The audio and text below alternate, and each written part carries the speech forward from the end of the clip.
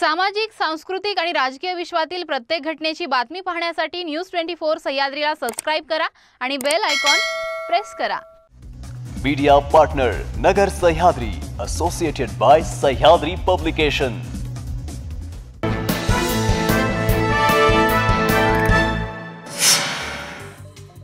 एमवेवर ईडीची मोठी कारवाई सातशे सत्तावन्न कोटींची मालमत्ता जप्त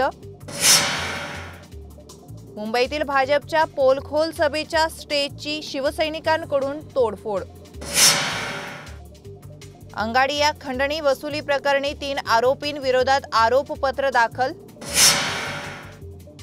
मुंबई पोलिसांनी तब्बल बारा हजार आठशे सोशल मीडिया पोस्ट हटवल्या जातीय तेढ पसरवणाऱ्यांवर पोलिसांची करडी नजर. भारतीय लष्कराला लाभले एका पाठोपाठ एक मराठमोळे लष्कर प्रमुख देशाचे पुढील लष्कर प्रमुखपदी मनोज पांडे यांना केंद्राकडून हिरवा कंदील. अमरनाथ यात्रेवर दहशतवाद्याचं मोठं सावट टीआरएफ संघटनेची धमकी. मनप्पुरम फायनान्सला झटका रिझर्व्ह बँक ऑफ इंडियाने सतरा पूर्णांक सहा कोटींचा दंड ठोठावला.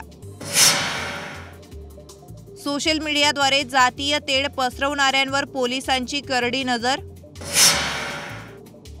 पोलीस ठाण्याच्या आवारात डीवायएसपी हवालदारात भांडण अपमानास्पद वागणूक शिवीगाळ केल्याचा आरोप. पाटोद्यात गावकऱ्यांकडून सर्व धर्म समभावेचा संदेश अखंड हरिणाम सप्ताहातच मुस्लिम बांधवांची पंगत.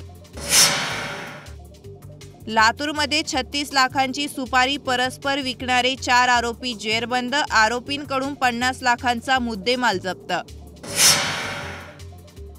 कांद्याचे भाव उतरल्याने शेतकऱ्याच्या डोळ्यात पाणी आवक वाढत असल्याने कांद्याचे दर गडगडले.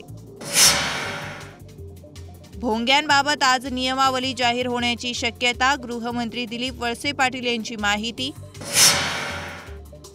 हिंसाचारावर मोदींना विरोधकांचं पत्र ठाकरेंनी मात्र सही करणं टाळलं चर्चांना उधाण. ऊर्जा विभागाची आज बारा वाजता महत्वाची बैठक आरोपी संदीप गोडबोलेला आज गिरगाव न्यायालयात हजर करणार. विदर्भातील अकोला आणि चंद्रपुरात उष्णतेची लाट येण्याची शक्यता. भारताने विकसित केलेल्या पहिल्या उपग्रहाचं प्रक्षेपण. आज लखनौ सुपर जायंट्स आणि रॉयल चॅलेंजर्स बंगळूर आमने सामने. पंतप्रधान नरेंद्र मोदी हे तीन दिवसांच्या गुजरातला आज बनासकंठ आणि जामनगर जिल्ह्यातील दौरा.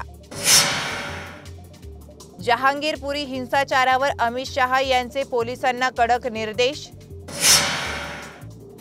फटाक्यांमुळे होणाऱ्या प्रदूषणावर सुप्रीम कोर्टात सुनावणी. खरीफ अभियान दोन हजार बावीस कृषी संमेलनाचं आज उद्घाटन होणार.